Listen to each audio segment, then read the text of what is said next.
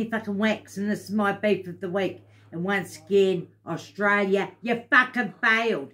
Cadbury should be back in fucking New Zealand so we can have whole Easter eggs, not these fucking half a fucking job. I mean, you do a bunny. I'm not too fucking sure about this fucking bunny now either. I'm gonna fucking open that up.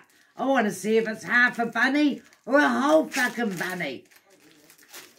It's half a fucking bunny. Look, a bunny's not got a flat fucking back, has it? You get a whole fucking bunny, not half a fucking bunny. Telling you, Cadbury, you're all fucked up in the head.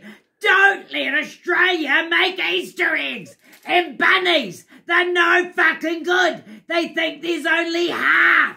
They're fucking useless pricks.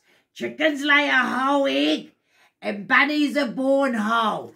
Half a bunny, half fucking eggs. What fucking crap is this? I thought you would have learned from last year.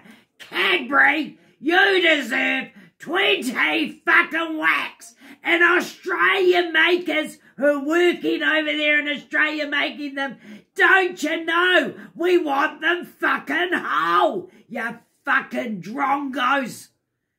You all deserve 20 fucking whacks.